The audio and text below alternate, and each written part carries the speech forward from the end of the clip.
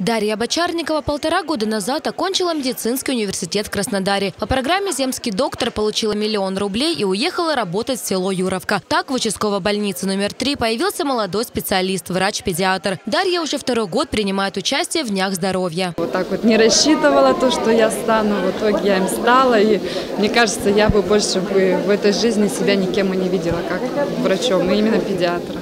Ты сидишь на приеме на участке, это одна работа. День здоровья – это совершенно другая работа. Медицинский осмотр жители села Джигинка начинали с антропометрии. Измерили рост, вес, артериальное давление. Сдали анализы на уровень глюкозы и холестерина в крови. Терапевты, педиатры, эндокринологи, кардиолог, лор-врач и окулист проводили для селян диагностику. Все приемы врачей, консультации и анализы бесплатные. Нужны только паспорт и медицинский полис. Я лично хочу проверить все, потому что в Анапу все равно надо ехать, проверять, наш терапевт посылает все. И там надо, а для нас это очень затратно, и время, и очереди, и здоровье не позволяет. Обслуживание хорошее, я бы сказал, даже на высшем уровне.